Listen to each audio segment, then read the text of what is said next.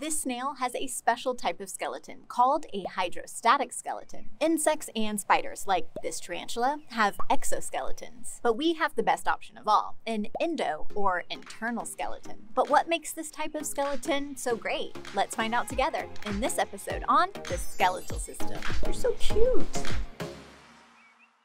We think of bones, most of us imagine a skeleton model like this guy, or giant dinosaur bones in a museum. If you've ever seen a real skeleton or a fossil in a museum, you may think that bones are crumbly, dry, or dead. But the bones of your skeleton are very much alive, growing and changing all the time, just like all the other cells and tissues of your body. Bone is an active tissue with an extremely strong yet flexible and lightweight structure, and can even repair itself if damaged. The human skeletal system is not quite as simple as the song you sing in kindergarten suggests. The head bone is actually made up of 22 separate bones and is most definitely not connected to the neck bone, but rather to a series of small interlocking bones that travel all the way down your back. In total, the human skeleton consists of 206 bones. This flexible inner framework provides structural support to all other parts of the body, which would kind of just smush without skeletal reinforcement, like this Play Doh person.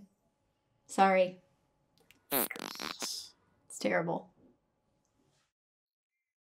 Having this framework inside of our bodies has allowed us to grow larger and have way more freedom of movement. The bones of our skeleton are separated into two categories based on their purpose and location the axial skeleton and the appendicular skeleton. The axial skeleton contains 80 bones, including the skull, vertebrae, and rib cage. It forms the central structure of the skeleton, kind of like your foundation, shielding the organs that you can't really live without the brain, spinal cord, lungs, and heart. The remaining 126 bones make up the appendicular skeleton. They include the arms, hands, shoulder girdle, pelvic girdle, legs, and feet. The lower part of the appendicular skeleton protects the major organs associated with digestion. Unlike in insect's exoskeleton, even the hardest parts of your bones are alive. Let's take a look at the femur, the longest and strongest bone in your body. The main shaft is called the diaphysis, and each rounded end is the epiphysis. Almost every bone in your body is made of the same materials.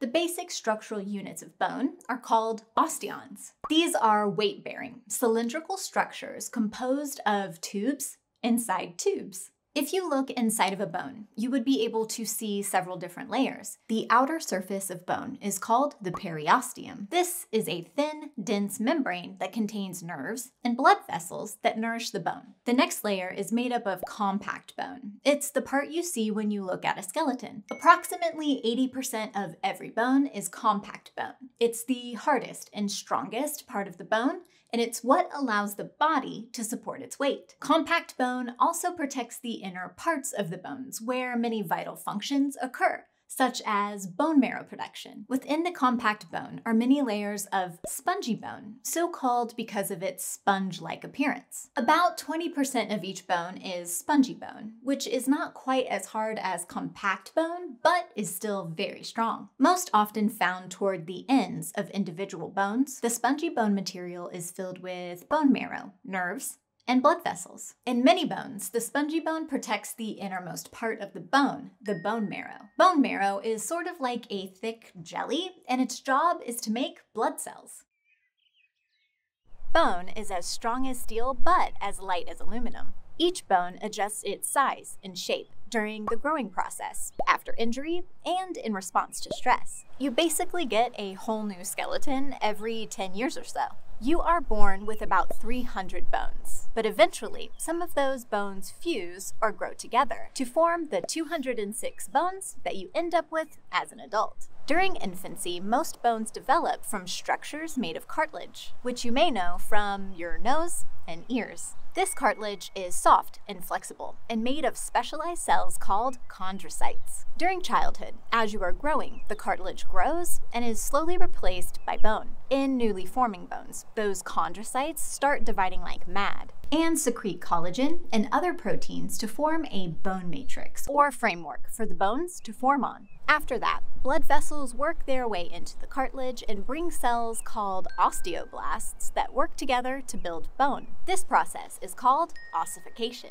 By the time you are around 25 years old, this process is complete. The lengthening of long bones is where most of our growth comes from. The ends of your bones actually grow away from each other. Near each end of a long bone is an area known as the epiphyseal plate, or growth plate, where lengthening and ossification both occur. Even though bone lengthening eventually stops, the thickness and strength of bone needs to be continually maintained by the body through the course of each year of your adult life. About 10% of your skeleton is completely broken down and rebuilt from scratch in a process called Bone remodeling. The osteoblasts we mentioned earlier are involved in this process, along with a new type of cell that basically does the exact opposite job.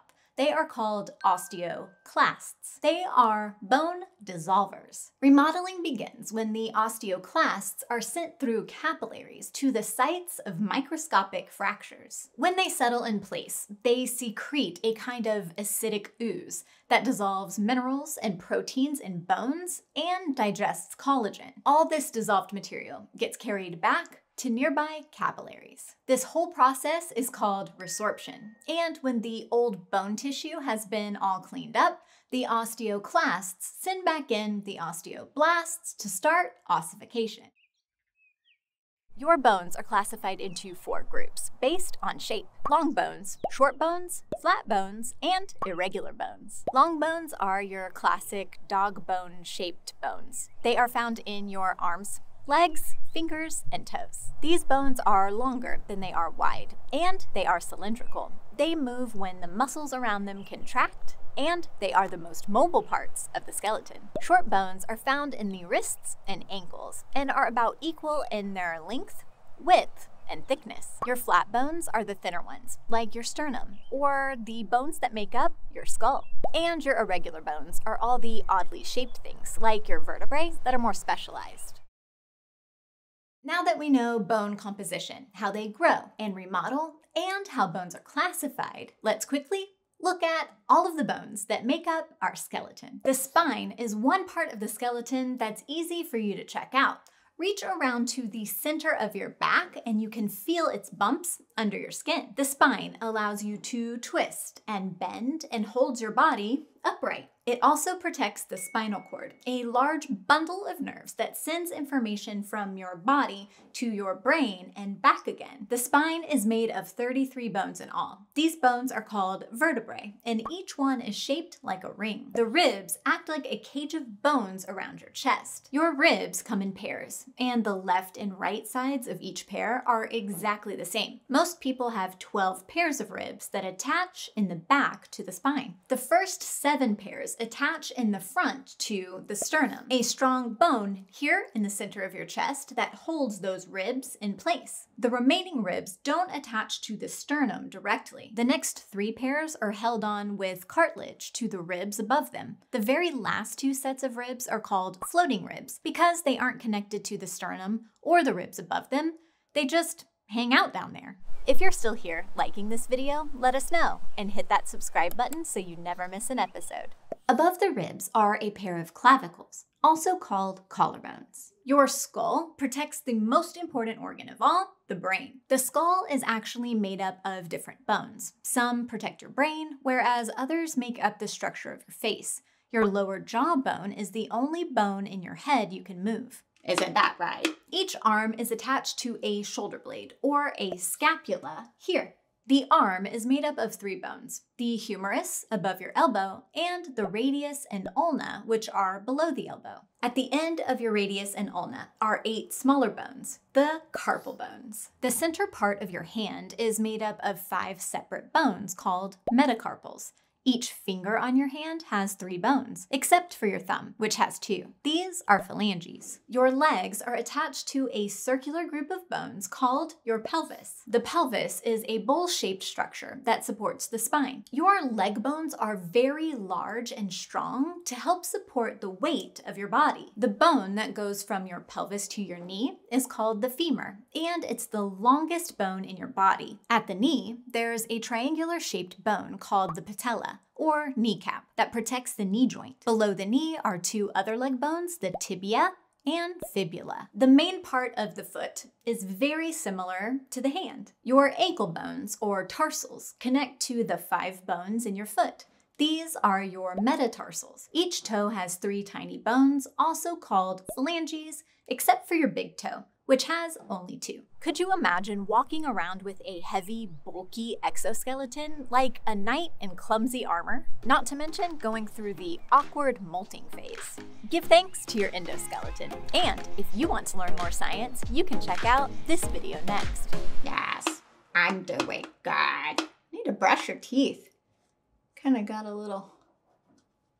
There you go. Good job. Okay, we're ready.